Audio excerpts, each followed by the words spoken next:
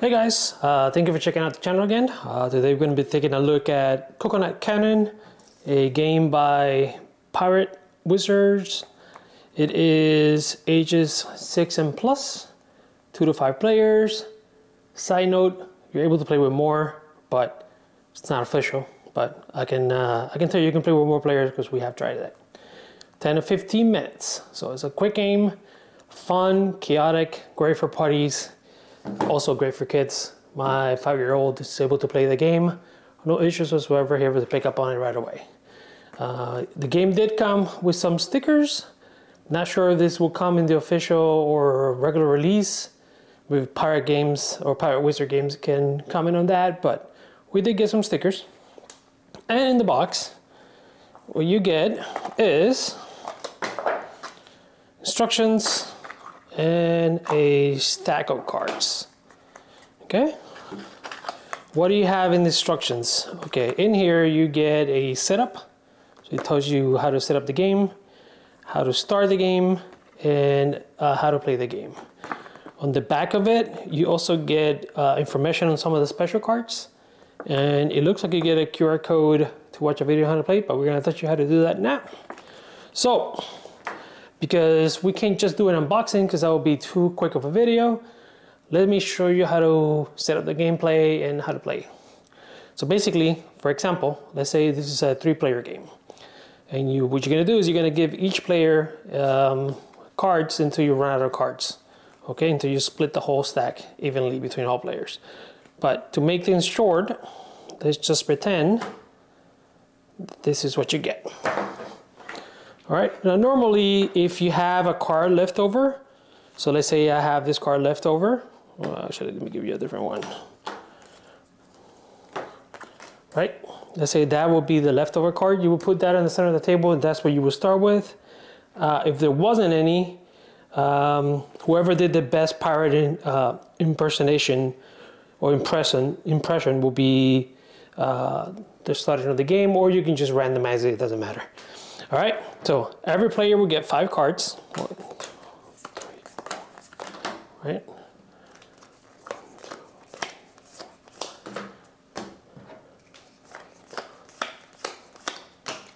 So each player has a draw pile and a hand and a hand um, um, hand cards. They're, they're going to keep in their hands. Usually, it's going to be five cards, and you have your draw pile. Each player is going to have the same thing. There is no structure to the game. The only thing is that you cannot play game. You cannot play a card twice. So we're gonna go. Um, you're gonna play a card once. You're gonna draw from your draw pile. So let me give you an example. So the way it works is you can either match the color of the card, you can match the character, or you can match the amount of characters on the card. So this card has three characters and it has a green color. So I will be able to play this card because this card matches the color of that card. So I will play the card, draw another one from my draw pile immediately, and then another player can go, okay? And this is gonna happen fast. So let's say this guy plays this card, and then they draw another card, and you can keep going. I mean, if I have a card, I could potentially go now, right? Um, so that's how it works. And essentially what you want to do is you want to be the first player with our cards. Okay, so that's your basic. Again, you can match colors, you can match character, or you can match the number of characters on the card.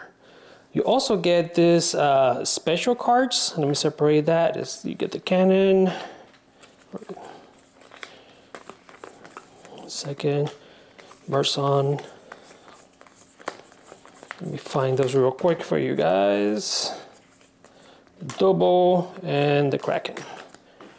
So what happens is, and let me just double check with this to make sure. So whenever you play this, you can draw, you can swap, whenever you play this card, you can either swap your draw pile or the cards you have in your hand with another player. So let's say I want to swap let's say I want to swap my hands with another player's hand. So that's what will happen, and that will be my new hand right now. Um, when you do play that card, the gameplay pauses until that's done, and then you continue with the game. Uh, where's the other one? The other one is called the double. And the way this works is you're gonna discard you're gonna discard two cards and then you're gonna discard that. That's how that works. So it allows you to discard, to, to get rid of two cards and, and you place this card on top of it. All right, so that's that. Then you have the Merson. And when you play this, you basically pick a player from the group and they're unable to play again until five cards have been played or uh, once they've sung the Merson, uh, which is right here. And it's got the lyrics in there. Okay, so that's that one. And then you have the coconut, which means it allows you to discard all cards in the hand. And then you play, so let's say you have one, two, three, four. You have this, then at that point you can discard all hands, your entire hand, and you put leave that one on the top. So those are all the special action cards. Again, you're gonna, the whole goal of the game is to get rid of all your cards. Whoever gets rid of all the cards uh, first is the winner. Um, very chaotic game, fun. The more people obviously that you have, the more fun the game is. Uh, it is for kids, I want to say, uh, but um, we have fun with our kids playing the game. So definitely adults can play the game, especially if, you have a big group. It could be a fun game to play. All right, but that is Coconut Cannon from Pirate Wizard Games. They provided this copy. Thank you very much for providing the copy. Uh, we will list the link and their information below so you can check them out. Again, this is Blue Ape Games. Hope you have fun. Hope you enjoy this video.